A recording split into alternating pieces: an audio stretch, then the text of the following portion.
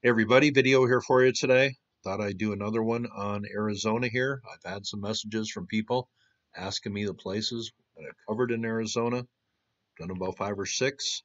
The Casa Grande ruins, Snake Town, Lost City of Phoenix, and the ball courts. That was seven months ago.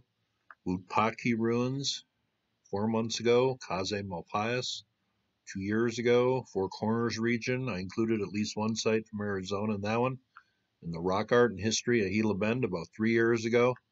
But today we're going to cover two more ancient sites in Phoenix. And by the way, in the last week I jumped over 90,000 subs. Thanks to all my new subs. Had quite a few in the last week. I appreciate that. But today let's go down to Phoenix, Arizona. First, let's just take a brief peek at Pueblo Grande right down here. Here's a site down here. You notice a mound built up and there are ruins you can go visit. There is a museum down here. There are canals, ancient canals in Phoenix. And the end of this video, the last 10 minutes, is going to be a lecture on a site that was found beneath the streets of Phoenix here. But this place you can go and visit today. These Hohokam villages maybe go back maybe 1500 years at the most. You can get a good idea here on Google Earth. The ruins here, and then just north of this main mound complex you can really see a lot of things here just looking around, but there is an ancient ball court right down here. Why were these ancient ball courts built at these Hohokam villages? Well, these people were the northern branch of the people who lived in Mexico or Central America. Here's a look at that ball court down on street level. Not as big as some of the ones coming from Mexico or Mesoamerica, but they certainly serve the same function. Here's what it looks like on top of that main mound here. Some of the dwellings have been excavated here, but they got some signs here telling you what you're looking at. But this mound is built up. Maybe it looks like maybe 30 feet high. Here's a look inside the museum. These might be all the habitational sites around the Salt River here. They have a timeline. Looks like it started around 450 AD or 1500 years ago and these sites were lived at for maybe four or five hundred years. Here is what they think this site here, Pueblo Grande, looked like maybe a thousand years ago.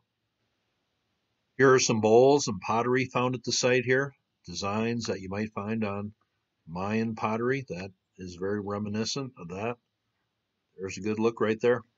Some more things found in the museum here. They talk about the home builders. It says suburbs once stretched north and east of the platform mound.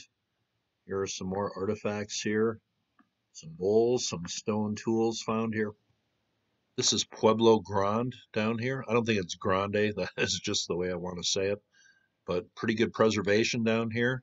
Museum, a lot of stuff you can go see. But let's talk about another site that is on the other side of Sky Harbor Airport. This is just to the east and north of it. Let's go just to the other side here. Talk about a site Lost Beneath the Streets of Phoenix. Now we're going to talk about La Villa right down here. This is going to be about a 10 minute clip from a 45 minute lecture from Archaeology Southwest. They make their videos shareable. That's always cool. But this right down here was an ancient village about 1500, 1000 years ago. They found a lot of stuff down here. Here is that lecture. I will leave all the links below. Hope you enjoy. Okay. Hi, I'm Mike Lindeman, um, and today I'd like to um, talk a little about a couple of excavations that we did at the site of La Villa. The site of La Villa is in uh, downtown Phoenix, and so it's uh, Jefferson Street on the north and Grant Street on the um, south. And then on the eastern boundary, there's 15th Ave, and then uh, on the or on the western boundary is 15th Ave, and on the eastern boundary is 9th Ave. And um, what I really want to talk about are two sets of excavations that we did, and then how we were able, through um, a little bit of luck and uh, fortuitous placement of um, streets that came in, well, at least um, at least uh, almost a thousand years after the site was established, but those streets gave us a real insight into the structure of the site. But first, I'd like to talk about why people settled at La Villa. And it's more or less the same reason, the same reasons that attracted early settlers to Phoenix. It's right on the edge of the Salt River floodplain. So it's, it's right adjacent to prime farmland, essentially.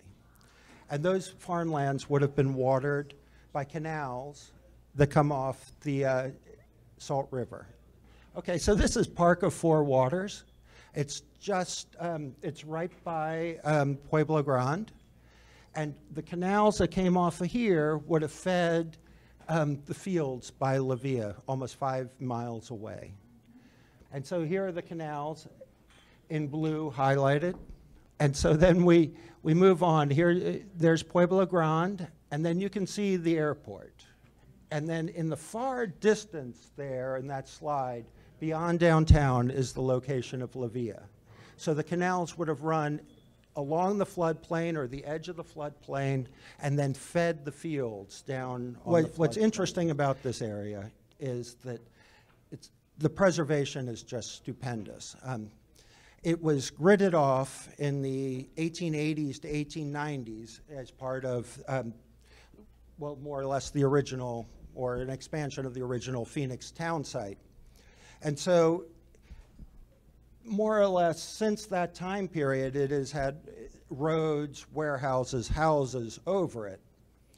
But lucky for us that when they built roads in the 1880s and 1890s, and then when they finally paved them, um, I'm not actually even sure when they, they actually paved them, but they laid the pavement, the asphalt, right on the surface. And so they didn't dig in like modern roads, and that helped preserve what was buried below. And this is just a, a pit house that we found in that six foot swath when we excavated it.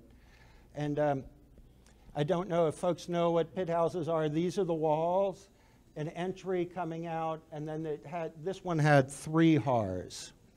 And so we couldn't find, we couldn't excavate the back wall because that went outside of the, um, our little narrow right-of-way. But we gained an awful lot of information from that house. Here's a, a well-preserved house. As, as you can see, this came from, um, this was along Jackson Street. And again, here's the protrusion on the, on the outside, that's the entry. This would have been this trench here with post holes, would have been where the walls were.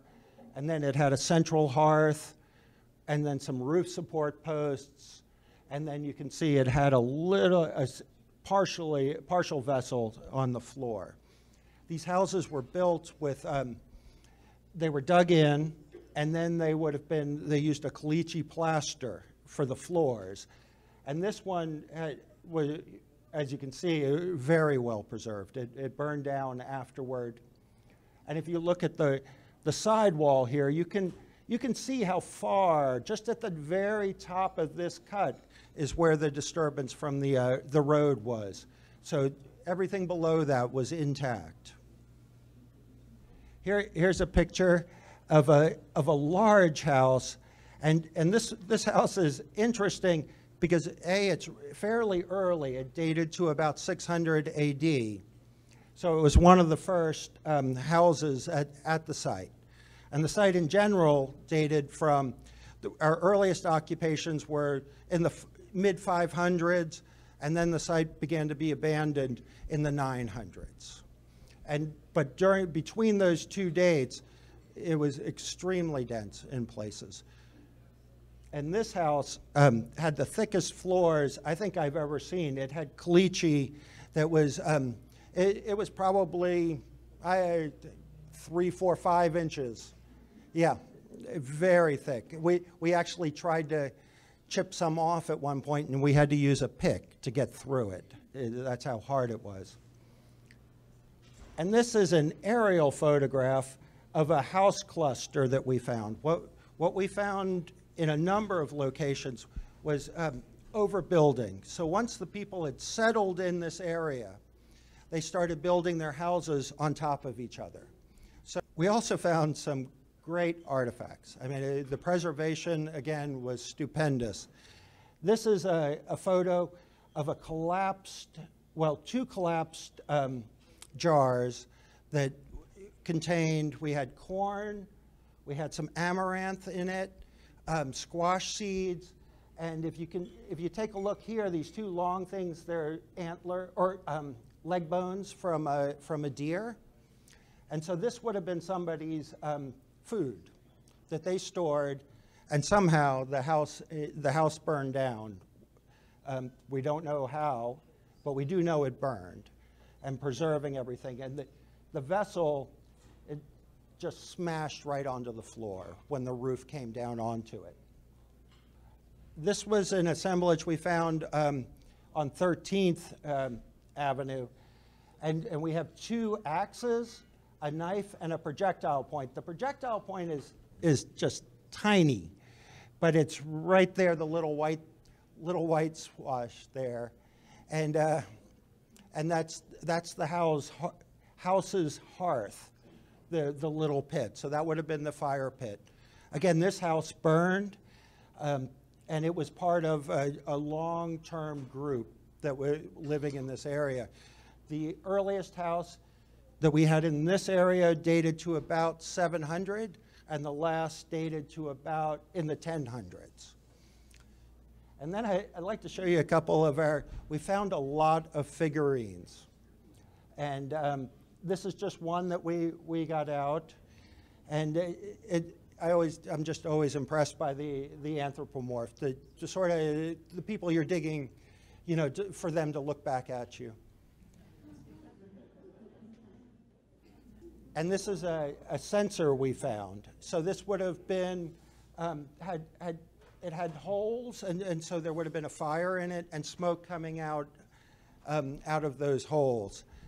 Um, again, incredibly lifelike. Um, I can imagine, say, a, a, say a Catholic priest, you know, how they swing those censers and the smoke's coming out.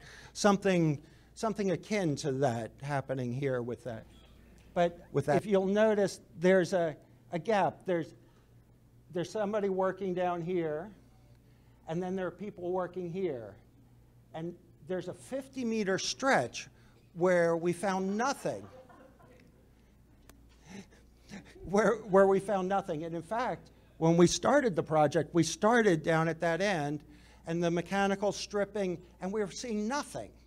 It was clean. We found a few pits and things like that. But we were worried. We had set up all this, closed down roads, and we're, oh no, there's nothing here. And then all of a sudden, once we had gotten to that, past that 50 meters, all of a sudden, boom, dense, dense houses. And it, and it really showed up when you looked at the dirt. The, the plaza was yellow. And then, then as you moved away from it, it was black from all the, the habitation refuse and all that, and then all the, the multiple structures. So here's what the final map looks like of, of La Villa today. Um, there'll be additional work, I, am sure, as, as this area continues to be developed. But we have two plazas, the eastern and the, the western, and then dense habitation around those plazas, and then that habitation thins out as you move away from that. And so you can see how, how these long transects, um, how we got lucky with that. That they really began to show, they really allowed us to have cross sections through the site. And, and that, that really provided the information that we needed to get at the site structure. Plus, of course, we were lucky that the preservation was so good that, those, that the roads that were laid out in the 1880s and 1890s fell in, in pretty good places. But um, sometimes you do need a little luck.